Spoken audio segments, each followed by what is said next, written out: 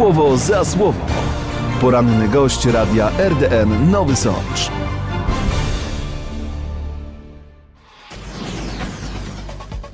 Dzień dobry Państwu. Dzisiaj ze mną w studiu pan Piotr Stach, wójt gminy Laskowa. Witam serdecznie panie wójcie. Witam panie redaktorze, witam wszystkich państwa.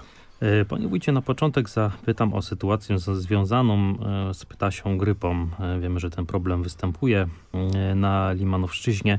Jak u państwa? Był chyba też przypadek, prawda?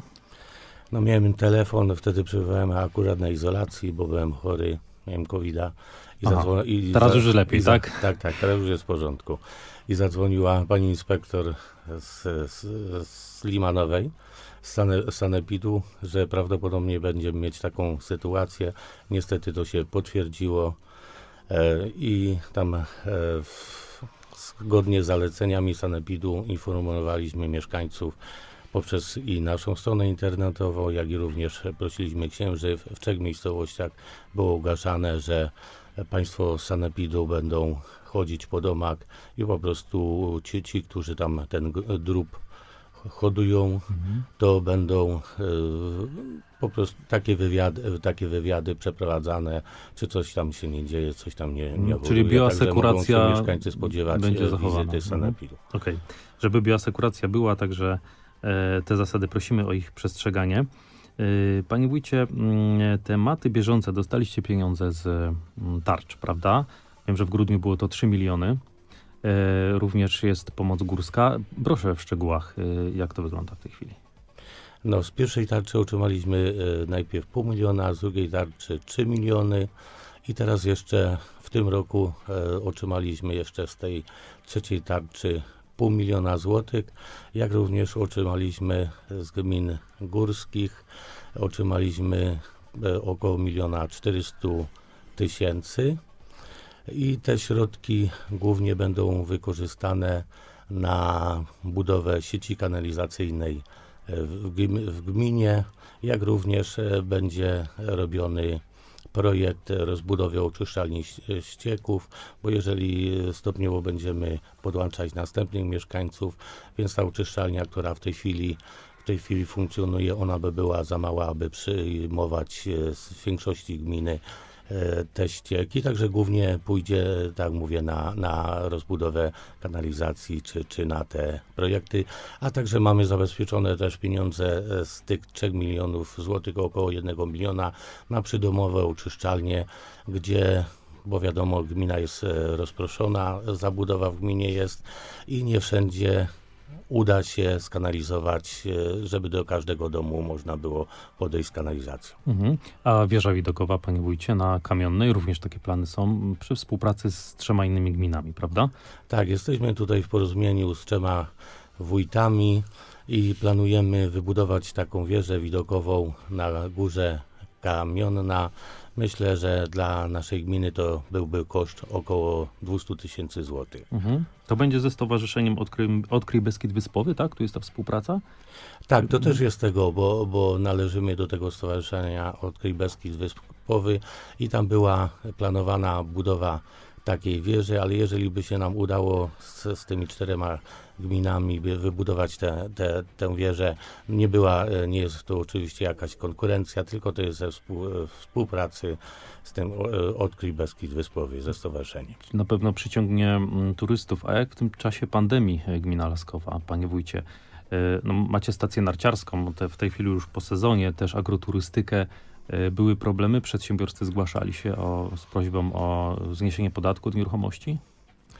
No na pewno branża tu głównie hotelarsko-turystyczna, czy tak e, ten wyciąg narciarski, który u nas działa, one przeżywają na pewno najgorszy, najgorszy taki czas.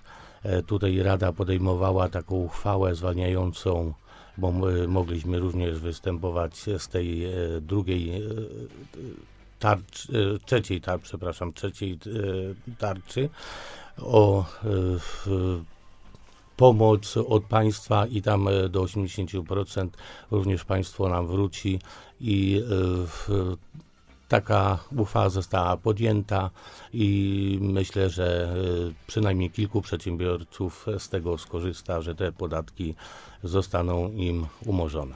Jak pozwoli pogoda, nie będzie obostrzeń, gmina planuje ruszyć z sezonem turystycznym tak normalnie.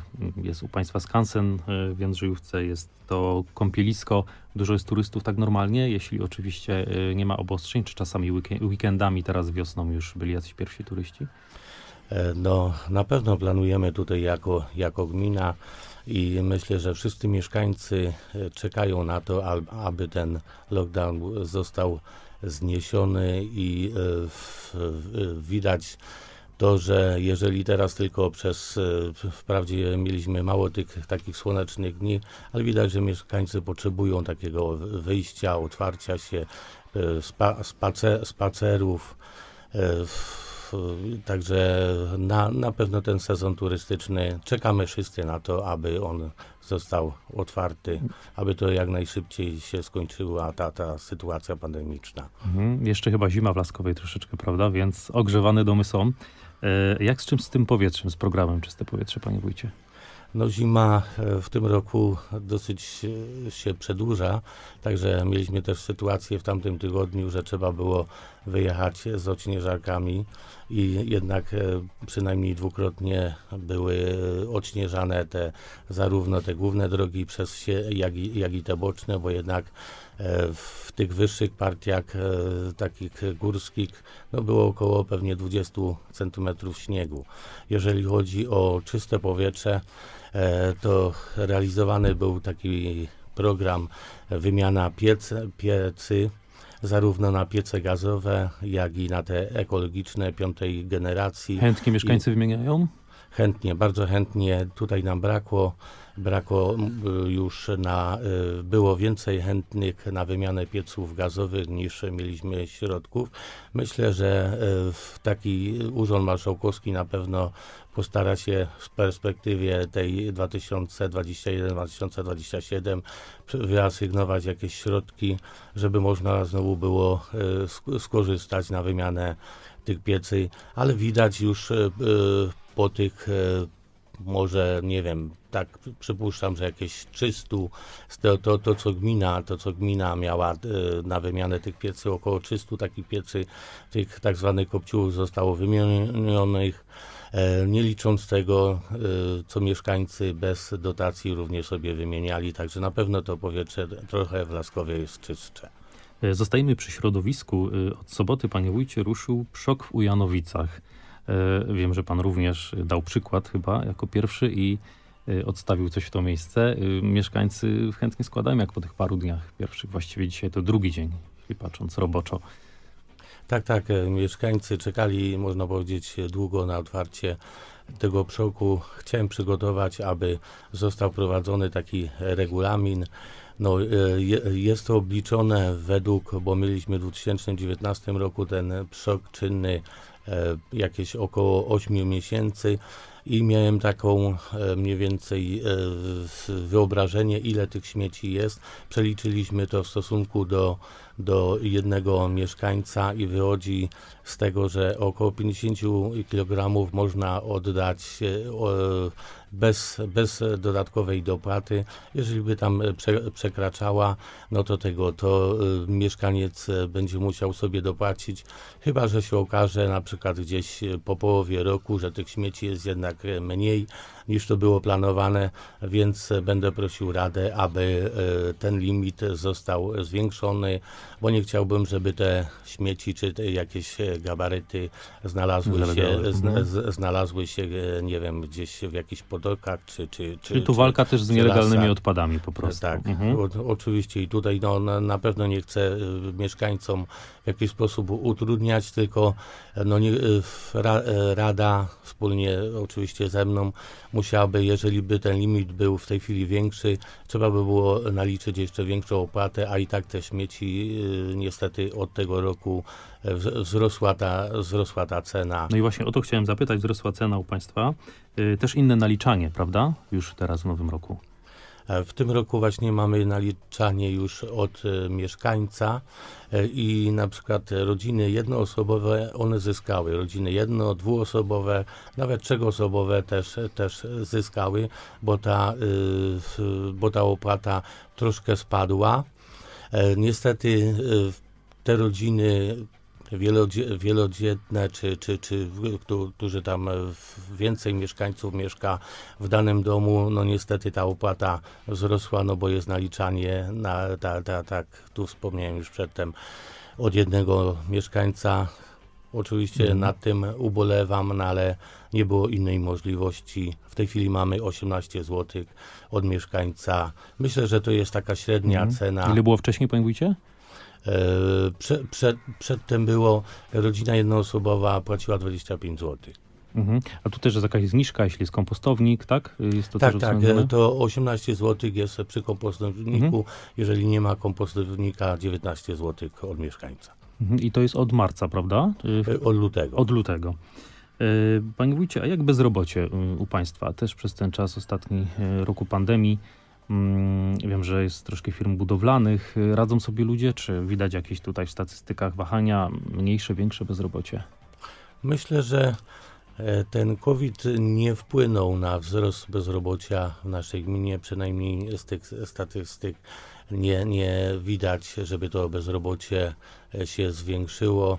Myślę, że to tak, e, można powiedzieć, tak z rozmachu je, jeszcze te firmy, e, jak pan redaktor wspomniał, budowlane, miały zlecenia e, z poprzednich miesięcy i jakoś to bezrobocie nie dało się odczuć, żeby ono było większe. A właśnie jeśli chodzi o COVID, chorują u państwa w gminie ludzie? Ma pan informacje? Pewnie tak, jakieś takie bieżące. Dużo ludzi przechorowało, choruje. Myślę, że ta największa fala to była na przełomie października, listopada. W tym, ro- w tym roku również e, w, w miesiącu marcu można było zaobserwować e, takie zwiększenie, zwiększenie zachorowalności na COVID-a. Y, Ale, ale myślę, że ta główna fala, e, te, tę główną falę mamy już za sobą. Mhm. Panie wójcie, proszę przypomnieć o kanalizacji jeszcze, gdyby pan mógł ten temat poruszyć, bo dalszy ciąg będzie budowany, tak? Tak, tak. Jesteśmy już po kilku przetargach. E, W dwóch miejscowościach już e, firmy weszły. e, Za, zaczęły się roboty związane z kanalizacją. E, Jeden przetarg był niedawno, e, w, w, jest, jesteśmy w trakcie rozstrzygania przetargu, bo, bo niedawno on się od, odbył i tam będzie dotyczyło to kilku miejscowości, także na pewno przynajmniej no, cztery, cztery miejscowości 4-5 miejscowości skorzysta na tym, że ta rozbudowa będzie. Ja się cieszę, że e, po tych e, przetargach, e, które, które i były zarówno w tamtym roku, pod koniec, pod koniec roku, jak i w tym roku, cena kosztorysowa była dużo wyższa niż, niż te oferty, które firmy nam skła- składały. Także w przypadku na przykład tutaj jednej z miejscowości e, Wlaskowej, gdzie tam był koszt, e, był e, kosztorys był na 2 miliony 300. Ta kanalizacja e, najtańszą ofertę nam złożyła firma za kwotę ponad 1 300 zł. Także to, to, to duża różnica, więc my też na tym skorzystamy. Mhm. A budżet tegoroczny, panie wójcie, zadowalający? Ile wynosi? No budżet, e, budżet w tym roku mamy myślę wyjątkowy, bo gmina Laskowa, ja sobie nie przypominam takiej sytuacji, pracuję też, byłem i samorządowcem trzykrotnie, byłem radnym, przewodniczącym rady i nie przypominam sobie, żeby gmina otrzymała 5,5 miliona złotych e, pomocy od państwa. Mieliśmy tam wprawdzie w 2000, pamiętam, 10 roku, e, gdzie na e, usuwanie skutków klęsk żywiołowych, ale to z tego co pamiętam, to była kwota ponad milion złotych. Wtedy było finansowanie to w, w 100%, a 5,5 miliona to gmina nie otrzymała jeszcze nigdy. Także jest bardzo zadowalający budżet. Obawiałem się w tamtym roku, że, że to będzie naprawdę ta sytuacja związana z COVID-em, że ona nas e, bardziej dotknie. E, Cieszę się, że, że jako gmina, samorząd nie uczuliśmy tego, a wręcz przeciwnie, Mhm. otrzymaliśmy pod koniec roku bardzo dużą pomoc. Czyli łącznie z tą pomocą y, od państwa, to ile wynosi budżet? Budżet e, kształtuje się w granicach e, 55 milionów. To, to Mhm. jest łącznie z tym, e, co e, mieszkańcy otrzymują e, na, na 500. Mhm. I, I właśnie z tego budżetu inwestycje na ten rok, remonty, jakie są planowane, panie wójcie? No, Hala sportowa chyba, prawda? Planujemy właśnie zakończyć budowę, oddać do użytku halę sportową w miejscowości Sechna. Jest to już na ukończeniu. E, Tak jak mówię, e, planowane jest e, przy, przy, przynajmniej właśnie e, z tych dwóch przetargów zakończenie rozbudowy, rozbudowy kanalizacji. Jak wspomniałem już przedtem, mamy przygotowywany ten projekt na rozbudowę. Wy- Wyłoniona została firma na rozbudowę oczyszczalni ścieków. Również wyłoniona z- została firma na projekt rozbudowy wodociągu zarówno i w Laskowej, jak i w Wujanowicach. E, Również e, liczymy na to, złożyliśmy wnioski z tak zwanego FOGR-u o dofinansowanie na budowę dróg. Złożyliśmy również e, wnioski do Urzędu Wojewódzkiego na tak zwaną powodzi- powodziówkę. No i e, jestem w stałym kontakcie tutaj zarówno czy to z panem wojewodą, czy, czy, czy z panem dyrektorem z Wydziału Rolnictwa. E, Ostatnio nawet e, dzwo- dzwoniłem do Wydziału Rolnictwa do Krakowa. No, na razie jeszcze na powodziówkę nie, nie zostały przyznane pieniądze. Tak liczę, że może w drugim kwartale, w zależności jak sytuacja związana z COVID-em będzie się rozwijała. Mhm. A panie wójcie, na koniec zapytam o sadownictwo, rolnictwo mm, u państwa w gminie. Jak ten poziom rozwoju tam wygląda? Ra- Radzą sobie rolnicy teraz w tym czasie? Y, Sadownictwo jest też w jakiś sposób rozwinięte? Znaczy jest e, kilka takich mie miejscowości, głównie tutaj Sechna, Kobyłczy, No tak, Kobyłczyna.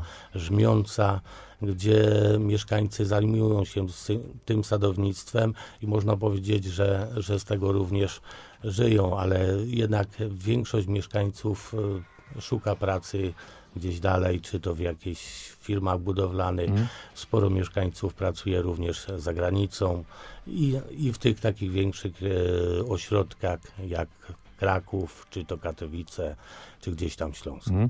Panie wójcie, bardzo dziękuję za dzisiejsze spotkanie. Pan, pan Piotr Stach, wójt gminy Laskowa był moim gościem. Życzę zdrowia i wszystkiego dobrego dla pana, Dzięki. dla mieszkańców gminy.